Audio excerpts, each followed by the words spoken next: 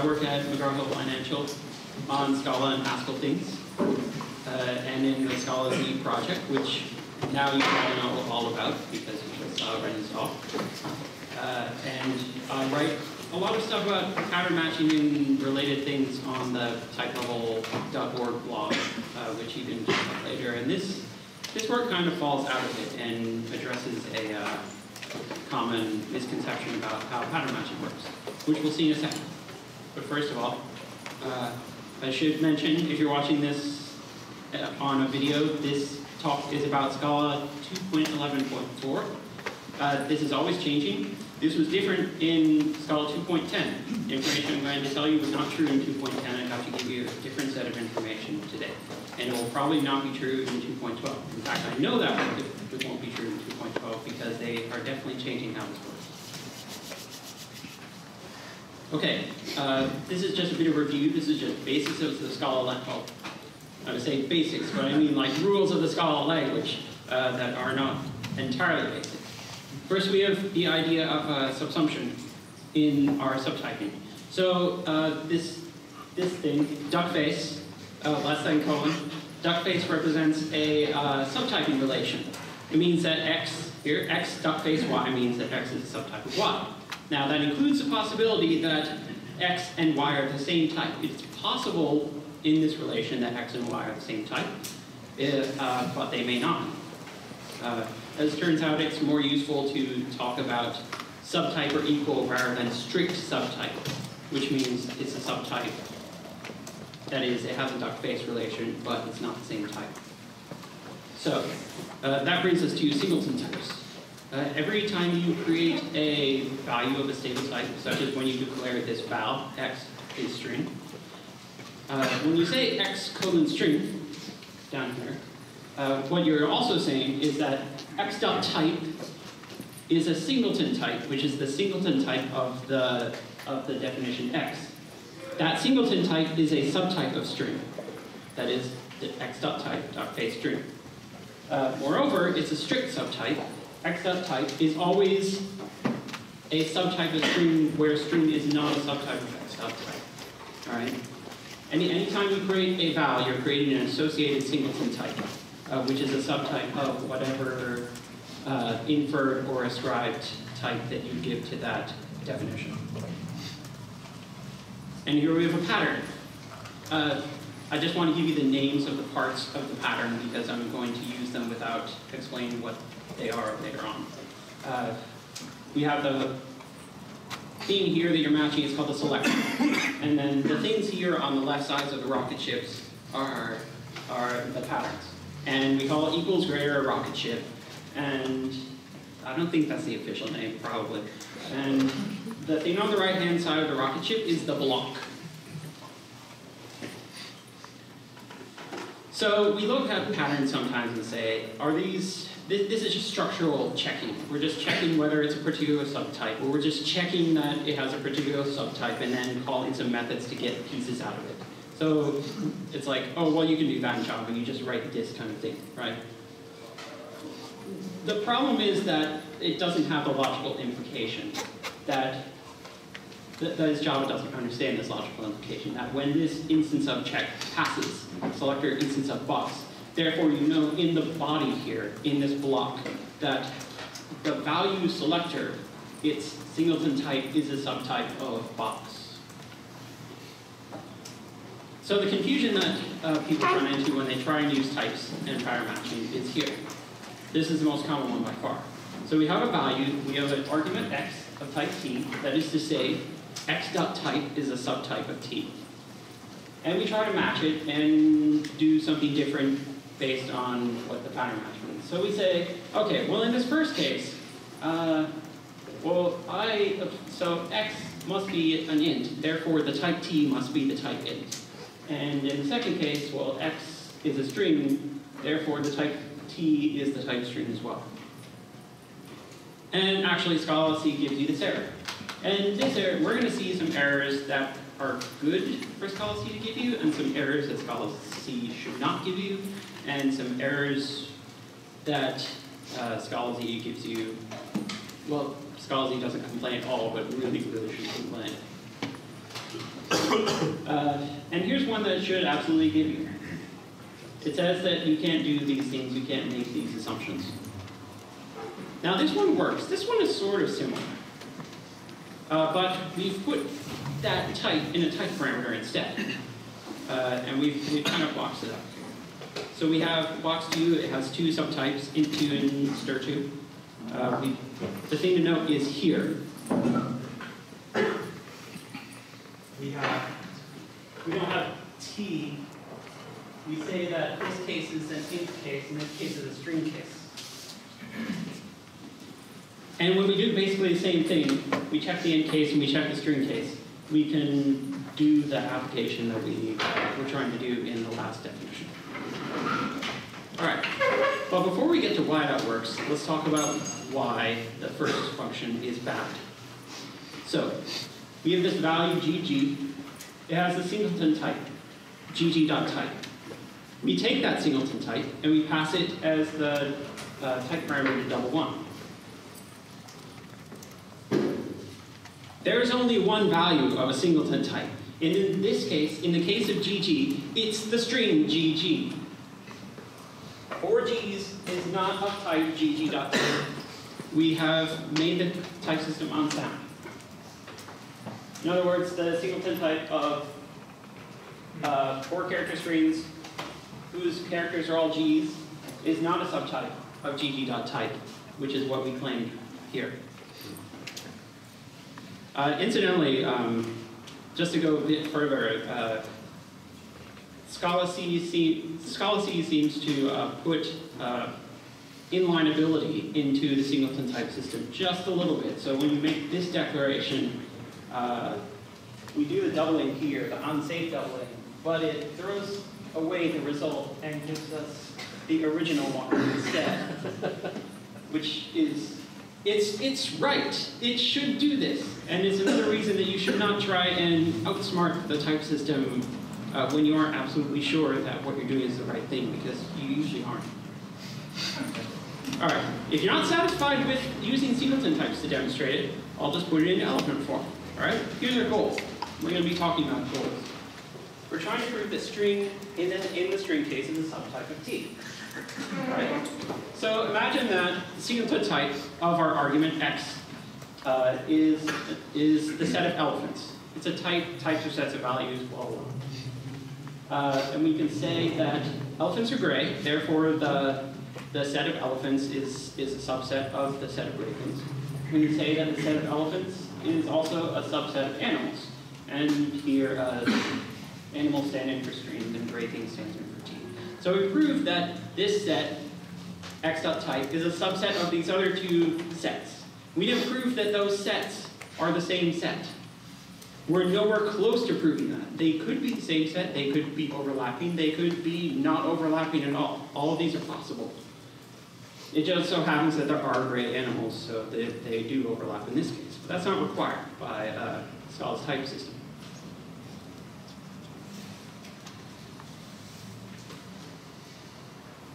Okay, uh, this is why uh, the second function that we wrote works. Because this error happens. We tried, we to create another kind of box too. We had a string case and we had an int case, and we tried to create one that would claim to have both cases. Here, we said this is both a string and an int box. In other words, we can we have both of these subtyping relations are true, right? But this doesn't compile. You can't create this class, and it gives this error message, which uh, I, I don't understand why this is the error message that it gives. But the outcome is that it gives the rule that we need. And this is the rule. If you remember nothing else from this talk, then you should remember that you should remember the role of this rule in how pattern matching works. It's injectivity rule, right?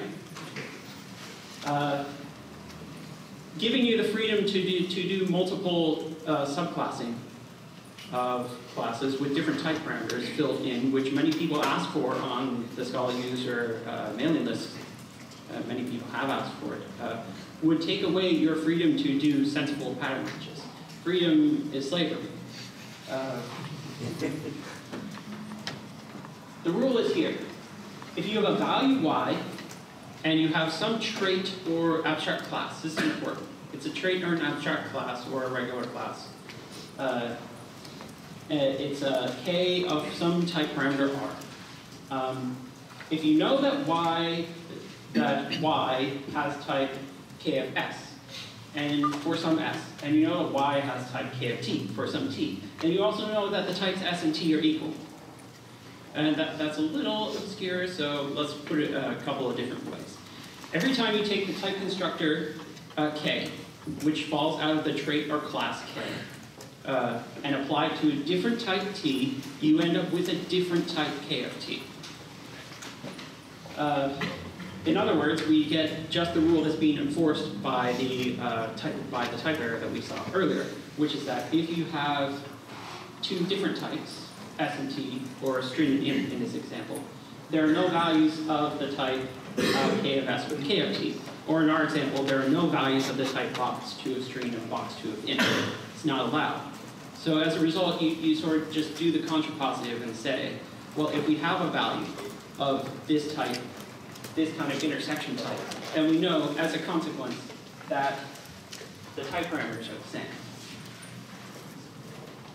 So I said that it was important for it to be uh, traits or classes earlier, and this is why. Uh, Scala lets you talk about, about uh, type synonyms, like this one, uh, as like full, fully fledged types with a kind of their own. Um, and here's an example. This, this uh, type constructor is not injective, like uh, traits and classes are. So if we say k of anything, really, we end up with set of elephants, because that's what's on the right-hand side. We don't use t anywhere. So if we have the type k of int, then we have set of elephant. Obviously, uh, the type set of elephant is inhabited. Even if there are no elephants, you can still have an empty set. We'll get into how you can get elephants later.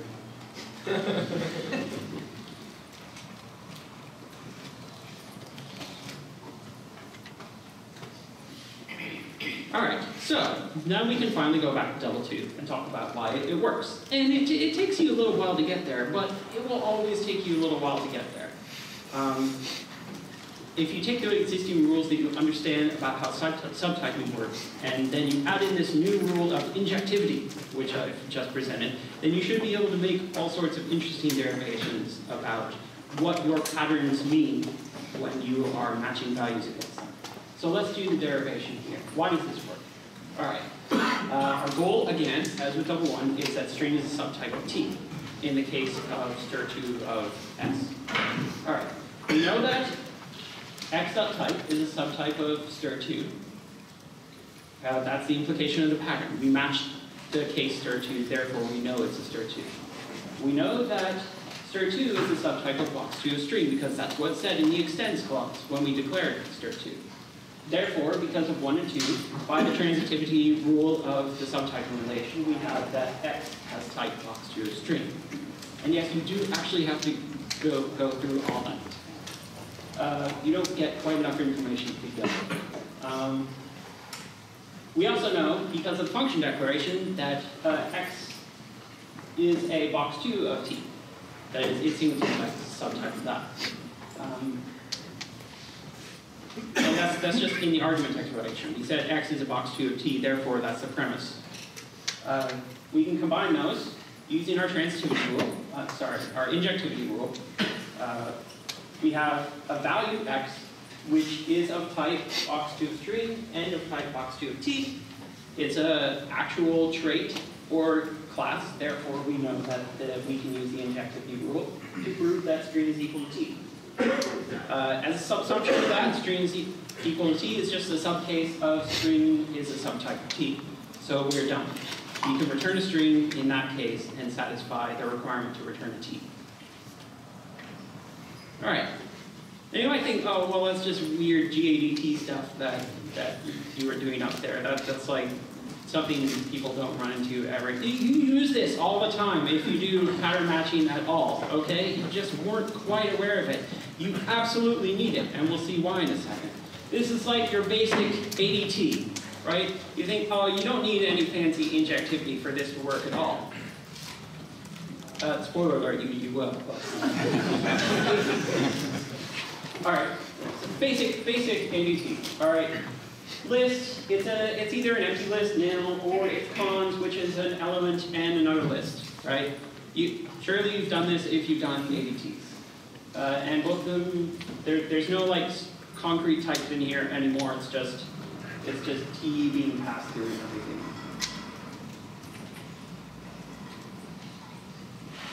Uh, okay, so here's on this type. We take a list of T, we return an option of T. It's, if we got an empty list, then we give none. If we have cons, then we give that head element, right? So the, the tricky part here is proving this. X has to be a T for this return type to be satisfied. And you need to do all this in order to get there. Absolutely. So let's do it. We need X to be a T. In other words, X's singleton type is a subtype of T. And that's the X that we got when we applied the cons uh, pattern, when we matched the cons pattern, that is. All right, so what do we have? We have that the whole list, the argument, is uh, its singleton type is subtype list of, list of T. That's from the function, right? Uh, we also have, from the pattern match, uh, that it is a uh, subtype of cons of Q. We don't know it's cons of T yet. All right, we're, we're not quite there. we know that it's cons of Q for some unknown type. We're going to say this is existential. We introduce a new existential type and say that list of type, in addition to being list of T, is a subtype of uh, of Q for some type Q. Going to keep talking about that Q. All right. We also know that cons of Q is a subtype of list of Q, and that just comes from the definition of cons. It extends uh, uh, all cons of T extends list of T, therefore cons of T extends list of T. So we take these two, and we combine them again using the transitivity rule, and now we have that list is of type list of Q, which is the same one we introduced earlier. Now we already knew that list was of type list of T, so now we apply injectivity, and finally we have that uh, that existential we introduced earlier is the same as the t that we took in as a type parameter to our head option function. Uh, we know from the, the pattern where we, where we pulled it out of the cons that x has type q, and from the equality we uh, derived from transitivity and injectivity and all that good stuff, we finally have that x satisfies the return type. In other words, we take the x, we put it in sum, we have an option of t. All right, so you think, well, well we, we can get away with that. Um, again, proof by contradiction, you can't get away without using injectivity to make this derivation. So let, let's look at a counter. Let's say that we decide to make Scala more pragmatic or practical or whatever. And, and oh, you know, it's convenient to be able to extend traits and classes multiple times with different type parameters. So let's go ahead and do it. All right, we got a cons. It's just like the normal cons, except it also extends list of class loader. That's convenient. So, let's take that, let, us take that cons and do, do some fun stuff with it. All right, so we do head option we make a list that has a string high there in it. I like using the string high there for these examples. Um, and okay, every trig cons of string of string is list of string because we extended cons and cons extended list and transitivity blah blah blah. Uh, and accordingly you get an option of string back, which is sum of high there. Alright? Now let's do it again, but we'll put a slightly different description here. All right? So we have our trick cons. It's the same. It's a trick cons of string because we gave it a string. That's what it infers. But every trick cons of any type is a subtype of list of class So we went ahead and we put and we put it up to list of class So the type parameter that Bobby Bird is not string anymore. It's class loader. And accordingly, the return, if Scala allows us to compile this, again, I have to emphasize this is hypothetical only because you're not allowed to do this. Uh, the return type of this would be in that universe uh, option of class loader is some hi there. So therefore, the string of the string hi there happens to also be a class loader. Uh, I hope you see that this is nonsense. Okay, uh, let's see. Right.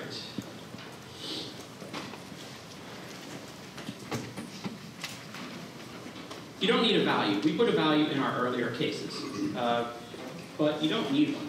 Um, here's a case that doesn't use a value. Uh, that, it, that is, our data structure doesn't contain one. Uh, it's, as they would say, isomorphic to Boolean. Um, incidentally, this puts a lie to using simple isomorphisms in a system like Scala where you have parametric polymorphism, because we can introduce things that are obviously isomorphic to Boolean because they're only two values, but they actually give us more things. They give us more features. In other words, the thing we've been trying to do, which is to like say that this is evidence of what this type parameter is. When we match, give me int, that is evidence that the type parameter t is equal to int by the same kind of derivations we've already been doing.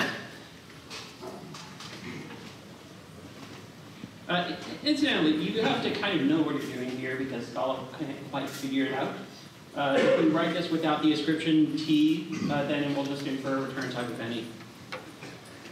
Uh, also, the and the reason for that is kind of this: the the type quality that you work out by doing a pattern match only exists within the block. So here we we prove inside this block t is equal to int, and we prove within this block t is equal to string. You obviously can't do that outside the pattern match, outside the block on the right-hand side of the, of the appropriate rocket ship. So T, T is a phantom. Um, adding type parameters that have no data associated with them is how you do this kind of thing. Uh, you can add information about type level expectations that you have at your, in, at your data layer, right? So you, it's encoding actual safe uh, runtime type information. This is, this is the only way to do it. Reflection is not safe. This is safe, absolutely. We, we know it is because we did all the, all the logical uh, All right, so here's some things that don't work.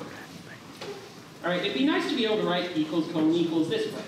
Uh, this is how you basically write Leibniz type equality, if you could do it this way in Scala. All right, means that if you have a value t of type of, of t and v, because this is the only case, by logical implication, uh, the types t and v are the same type. Because we can only instantiate it with eq ruffle, which just takes one type parameter and passes it in for both cases. Right? And so you should be able to use that to do this match right here and and uh, substitute this t for a v given a t of t and b. But you can't do that. You get this error. Uh, it'd also be able to be really nice, especially for Scalaz stream. Uh, Paul Chiusano and Runar complain about this one all the time. Uh, when if you were able to introduce new uh, type parameters in subclasses here that don't get passed up, right? So here we have this extra s, and we use it here in this list, and here in this function.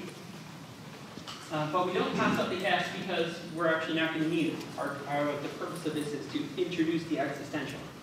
Uh, so we say, well, the way that you evaluate this, this is just like a math application. We have a list of s and a function from s to t, and we want to get a list of t out of it, right? And there it is. That's our evaluation. Uh, and that compiles, but not for a really good reason. right? The reason that it compiles is because the type that it pulls out, that it substitutes for that s is any. So this any is safe because any list of any type is any. That's fine.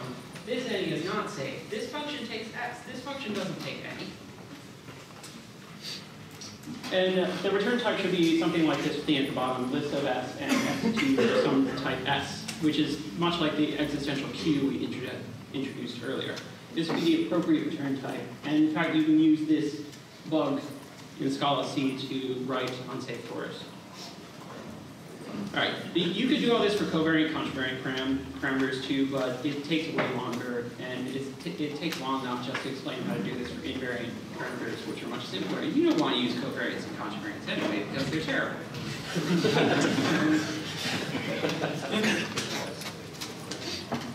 they are so complicated, you have no idea. Um, wow, I, I, we really we still haven't worked out a correct model to talk about variance at higher times in, in Scala. It's crazy. Um, yeah. Anyway, this is safe. This is a safe in 2.11. It's not safe in 2.10. It's finally safe though.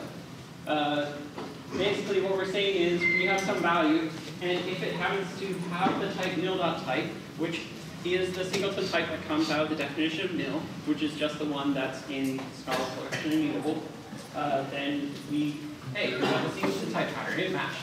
Give us back the value, because this binding has the type nil.type, which is what you expect from a type pattern. Indeed, if we pass an empty vector to that, it uses the fallback case instead and returns nil, which prints like list open paren, close paren. So that's good. Uh, and if we give it nil, it says the signal to type pattern matched. Great. All right, let's do it again for, for S patterns instead. Very similar. This binding right here, X, gets the type nil.type. So, let's give an empty vector in. Oh, well this would match, because obviously empty vector is a list. Wait, what?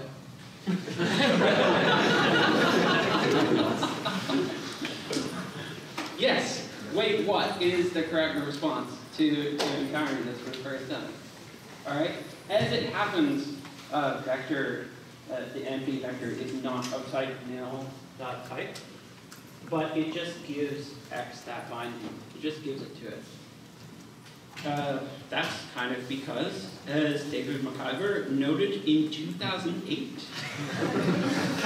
that's, that, that's what? Uh, six years and four days ago, right? Okay, six years and four days ago. Know, incidentally, this is going to be very annoying to fix. It just might take us years and years and years to fix this problem. Uh, it is totally unclear what type X you have in this match. So first let's talk about cons, the one that we introduced earlier. So when you do a, a match on cons, where you say case cons and whatever, the of the kind we introduced earlier, uh, it has a absolute type level implication. Uh, if we successfully match cons, not because we use unapplied, but it's a similar rule, uh, we know that the selector's type is a subtype of cons for some existential. But when we use an as pattern, the, way, the like an as pattern with an associated value pattern, where we're just matching like, is it equal to this value, we're actually using object equals. The one from Java that was invented in like 1995 or whenever it was that Java was created. We knew everything we needed to know about type systems back then, so I'm sure it's a perfectly sound design. Uh, so, it could say, oh, is it EQ? Is it singleton type patterning equivalent to nil? If it did that, then this would be fine. But that's not what it does. It does this. Is it any kind of GenSeq? Is it empty? Okay, then it's nil. Every, yeah. Okay, so we can get the type level implication out of that. And this is what uh, this is what uh, Darren MacIver meant by it's in totally unclear. All right, it's this type, this GenSeq thing. That's the type that the pattern binding X should have when you say x at nil, that is case x at nil. It should be GenSeq of q for some existential type q. Uh, there's nothing in the in the, the encoding of nil or anything that says that's what the implication is. So there's no way that the pattern matching system can find that out. Uh, if we're talking about lists in general, it's the same problem. If you have any kind of list and you put it in a value pattern, uh, it just checks whether it's GenSeq and it has the same elements, which I'm sure are compared by a method that's just as sound as this. Oh yeah, yeah. We we can we can trick we can do any kind of trick we want just by exploiting this single bug. in uh, scalac. Um, this is a case where we, uh, we make these two empty buffers, right? This is a buffer, right? You can't possibly put any values in this buffer. Because there are no functions of type A and B for some unknown types, A and B. Uh, we got this other empty buffer, A's, and you, you've got a value like this, right? It's identity function. All right, so let's say, okay, uh, scalac, I've got this AB's buffer, right? Does it have the type of the AA's buffer? Oh yeah, they're equal, so they must have the same type. So let's, so now this AB's has two funnels. And one of them says, and you know, you put values into funnels. Um, one of them says, no, you can't put any values because you don't have a value like this. And the other one says, yeah, give me an identity function. So we, we, we put it in, in the, our friendly new uh, funnel that we introduced here. Drop an identity function in there. Remember, spy here is actually alias for ABs. And then we go ahead and grab that identity function back out the other side. The one that says, hey, there are no values of this type, but I, I had one, so here you go. And yeah, we then use the uh, that function to tell the uh, Scala compiler that all strings are elephants.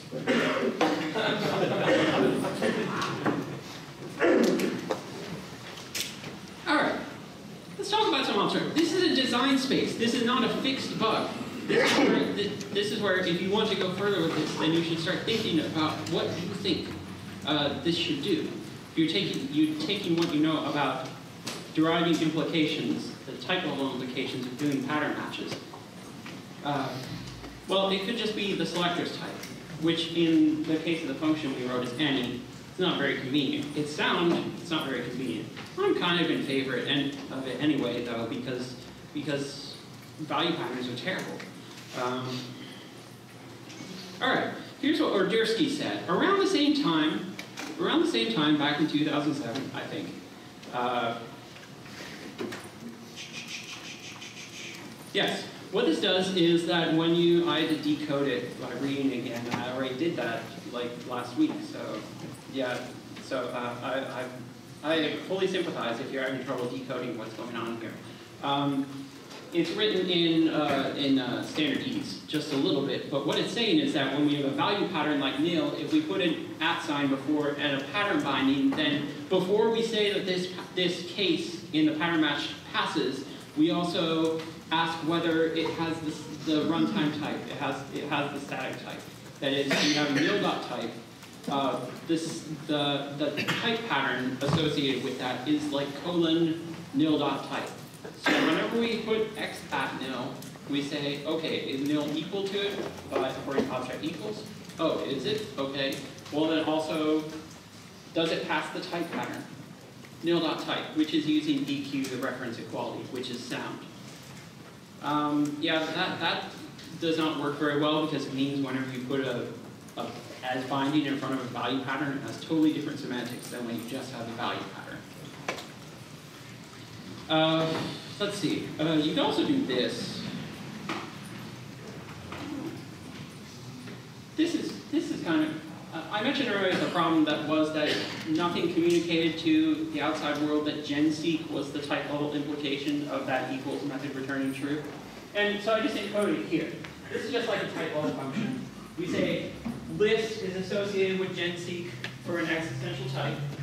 And we say that like list of, of uh, the type list that we defined earlier, that's associated with list existential type.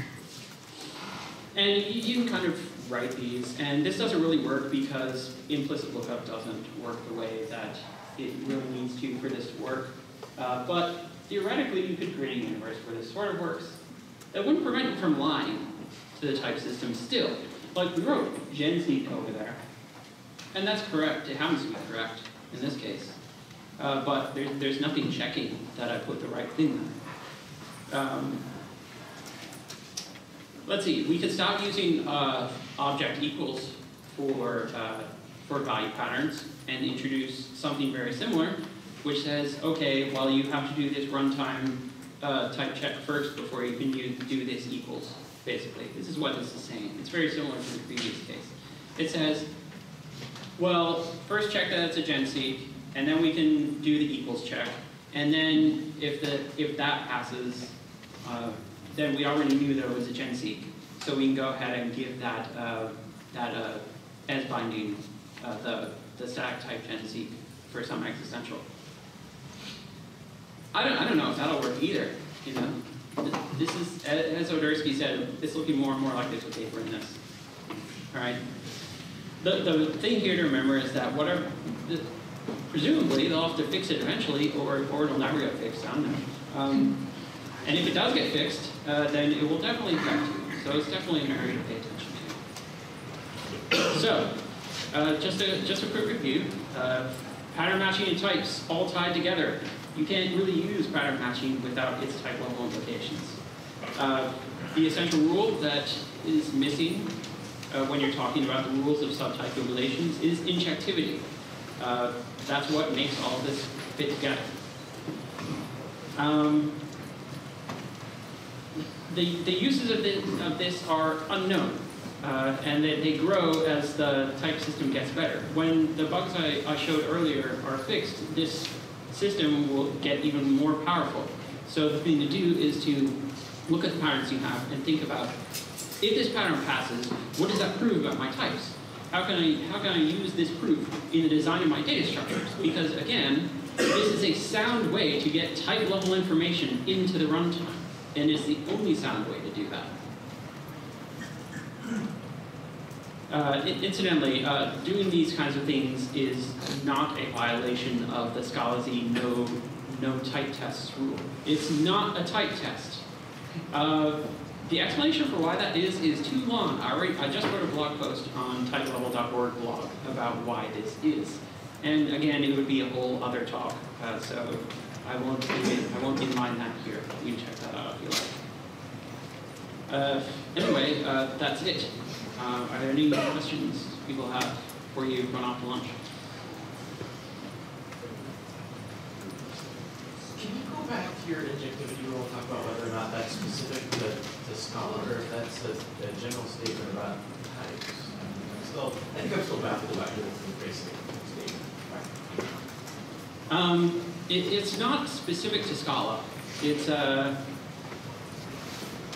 it's it, it generally appears. Um, for, for a while, it wasn't known if this was true in Haskell, for example, um, just because the way Haskell is designed, you should be able to write code that actually proves that it's true. And eventually, um, enough other uh, features were introduced in Haskell to prove that it's true. Um, that uh, a real type is injected. Though, Haskell does it a little bit differently. Uh, I, I mentioned that that synonyms have kinds, and therefore that's why you have to talk about traits and classes. But synonyms in Haskell don't have kinds. Uh, so, so you can only do this with real types, and every real type is injected as a result in uh, Haskell. And it probably applies to most systems that have any kind of pattern matching. Most any system where you can encode lists in this way probably has what amounts to an injectivity rule. Whether it's by construction or whatever. I mean, I mean you, you just can't write like this returns an intersection type, right? You kind of need intersection types like with extends blah with blah to, to really have to worry about this. So a lot of cases, it just says, well, you can't have intersection types, so you can't write this in the first place. Therefore, we have injectivity. Anything else? Okay, we're good.